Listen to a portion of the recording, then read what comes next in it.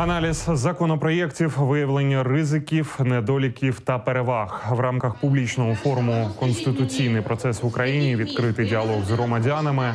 Народні депутати, депутати місцевих рад, громадські активісти, журналісти та всі охочі обговорили питання обізнаності в конституційній реформі.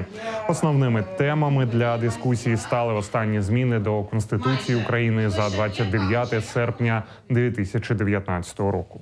Плюс до цього законопроекту ми ще додали питання децентралізації, але на жаль, цього законопроекту на даний момент немає через те, що президент його двічі вносив і двічі відкликав.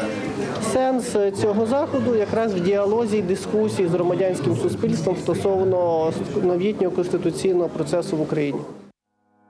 Впродовж 2019 року такі публічні форуми відбулися у Львові, Житомирі, Черкасах, Запоріжжі та Києві.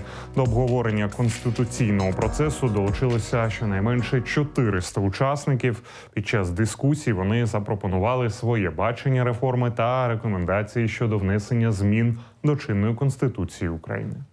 На сегодняшний день идет обсуждение гражданского общества по поводу того, а, насколько эти изменения эффективны, насколько они вообще жизнеспособны и что еще необходимо для того, чтобы наша страна а, действительно получила возможность, э, как, как народ, влиять на законодательную инициативу в стране.